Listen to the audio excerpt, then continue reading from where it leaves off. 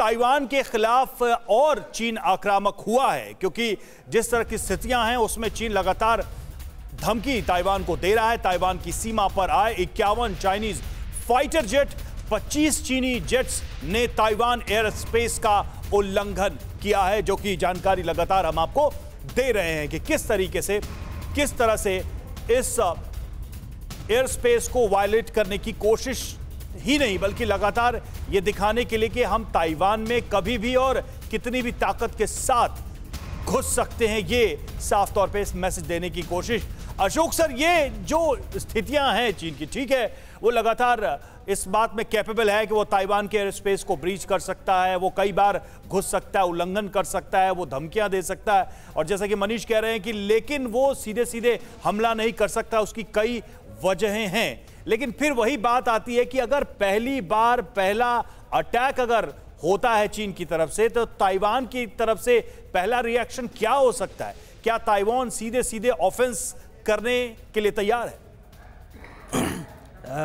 जहाँ तक मेरा विचार है ना चाइना अटैक करेगा ना ताइवान।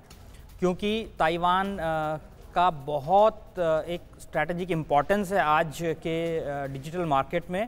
डिजिटल मार्केट प्लेस में और चाइना ताइवान इस समय जो सेमीकंडक्टर्स का सबसे बड़ा सप्लायर है पूरी दुनिया के लिए तो कोई नहीं चाहेगा कि ताइवान में किसी भी प्रकार की कोई ऐसे युद्ध की स्थिति पैदा हो जिससे कि ये पूरा का पूरा जो, पूरी की पूरी जो इंडस्ट्री है, ये किसी खतरे में आ जाए। और ये आ जाएगी और कोविड के दौरान हमने देखा भी था कि किस प्रकार सेमीकंडक्टर्स की सप्लाई में कमी आई।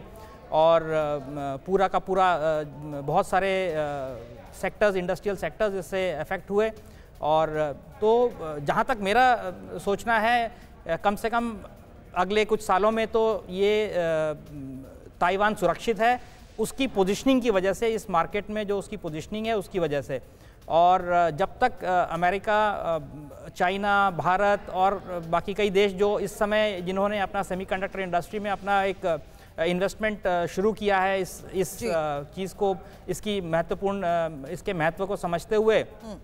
तो जब तक ये खुद एक आत्मनिर्भरता की कागार पे नहीं पहुँच जाएँगे तब तक मेरे विचार से ताइवान के ऊपर कोई हमला होगा नहीं। लेकिन यहाँ कोशिश की जा रही है चीन को लेकर। चीन को एक मैसेज देने की और ये चीन भी समझता है कि किस तरीके से यूरोपियंस भी अब खास तौर पर शार्पली बूस्ट कर रहे हैं अपना डिफेंस को लेकर बाकी देशों के साथ जो ड्रिल्स कर रहे हैं, वो एक बड़ा मैसेज चीन को देने की भी कोशिश है।